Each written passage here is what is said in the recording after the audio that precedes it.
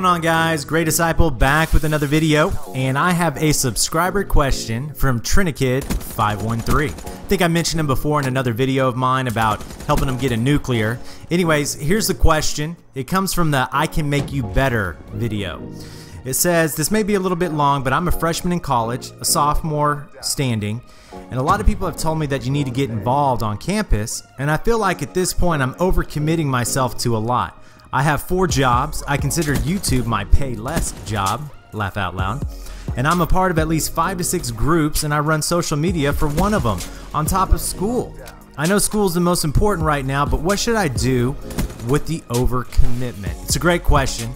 It's a balancing question, a question that we all have to figure out in our lives. Some people have a natural ability to say no, and some people they feel this thing within inside of them that says that they have to say yes to everything and everyone at all times. There's a quote from a guy named George Whitefield.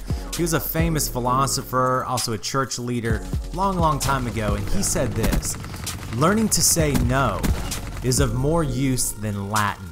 I know some of you are like, what does that mean? Well, Latin is the easiest way to dominate the English language, to have a very powerful vocabulary. But he said, all of that means nothing if you can't learn to say no and learn not to overcommit yourself. Overcommitment will crush you. In the process of trying to help too many people, you lose who you are.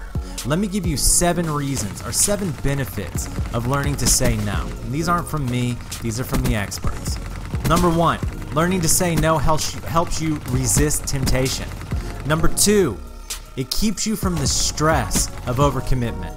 Number three, it protects your family or your personal life. Number four, it gives you adequate time for what matters most in your life.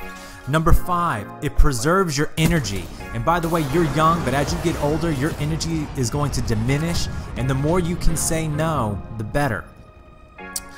Uh, that was number five. Number six, it allows you to keep room for the opportunities in the future that will come up. You know, there are things that are going to happen in your life, and if you are overcommitted, you're going to lose the ability to do them. So be careful.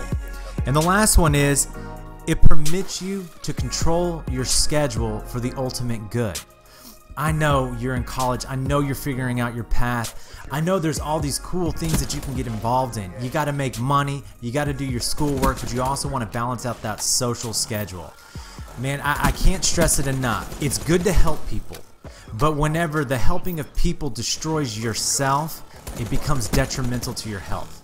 So you got to learn to say no. You got to learn to say yes to what matters most. You got to prioritize. Prioritization is the key to a successful life, in my opinion. Okay? School's important, man. Keep that at the top. You gotta have a social life or else you're gonna lose grasp or the reasoning behind why you're doing what you're doing. But don't forget to help people in the process. I think you need to back off. You need to back off at least one or two of those part-time jobs and probably need to back out of one or two of those groups.